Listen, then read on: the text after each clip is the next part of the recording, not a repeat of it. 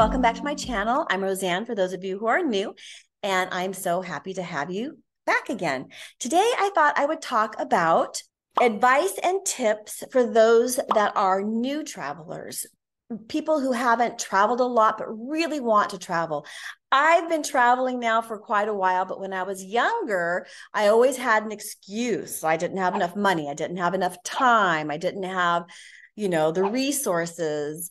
Um, but eventually, you know, one day I said, I'm just going to make it happen. It's my, I am being called to travel. And so I really wanted to make that happen. If you wait and wait and wait, it's never going to happen. So you need to decide and prioritize is traveling important to you? And if it is, then let's make it happen. It's so magical and enriching for your life to travel, and especially if you have the desire. So, let me share with you some tips on what you can do if you're a new traveler, what to expect, and things to keep you know your mind uh, aware of. So the first tip is that you really need to be open minded things don't always go the right way. There's going to be some unexpected experiences which can lead to magic. You need to be open minded and flexible when things don't go exactly right and in those moments, you just never know.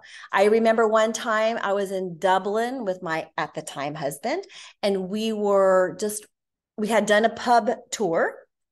And afterwards, we wandered around um, this area and we popped into a pub.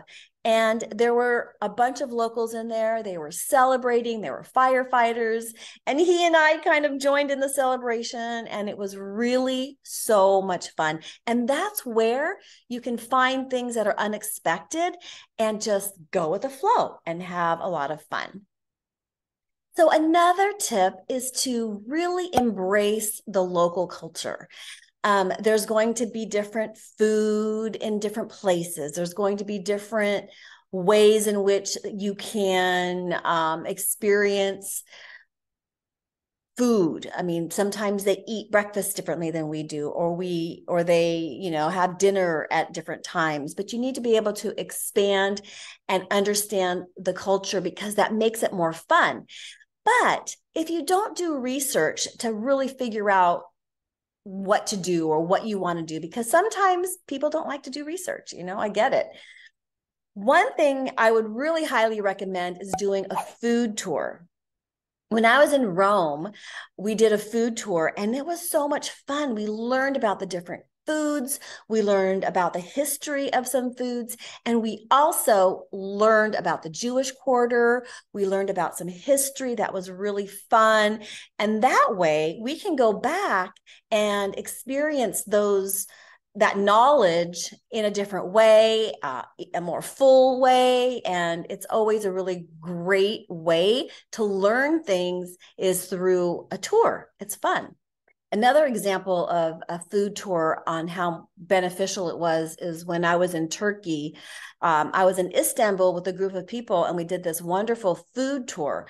And in that tour, we went to neighborhoods, we experienced foods.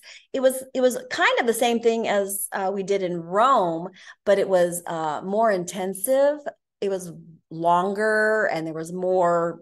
We went on one side of the ocean to the other side and it was it was really fun. So if you're intimidated about eating the different foods in your region where you're going the food tour is a really great way to go. Another tip is to pack light. When you're first traveling and you're first going on adventures we tend to pack too much I have done this and it is not fun because it creates more stress in your traveling because you need to make sure that you can navigate your own suitcase by yourself. No one's going to come rescue you. No one's going to help you in the train station or through the trains. No one's going to help you. I mean, maybe you'll have um, a nice person on the train, but there's no guarantee. You need to tra- pack light so that you have the freedom to do whatever you want with your own luggage.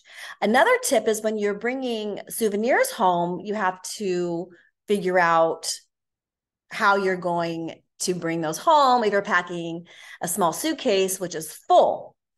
I like to pack a duffel bag inside my suitcase so I have an extra. Nico is hitting this thing.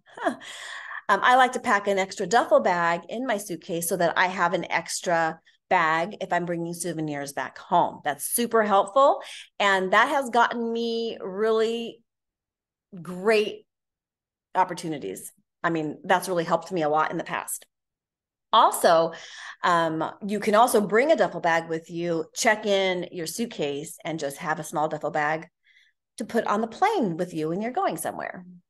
Another really important tip is to always be respectful. When we go to another country, even another state, they have different customs as well. But if you're going to another country, you need to recognize that they do things differently than we do. It's not going to be your home. It's not going to be the way you do things. It's not going to be the way your neighbor does things. In another country, they do things differently. And that's kind of where the magic is, right? I mean, the magic is in the differences. That's how we learn, that's how we get enriched. And that's a really good way to appreciate what we have but we need to also be respectful. We have to understand different cultures and that that's their culture and they think the way we do things is strange. So being respectful and understanding that can really make your trip better. If you're coming in and expecting things to be exactly the same way that they are in the United States, that's not going to be the case. So I just wanted to say that being respectful and understanding people's different cultures is really important. Another word that I love, and this is another tip, is to travel slow.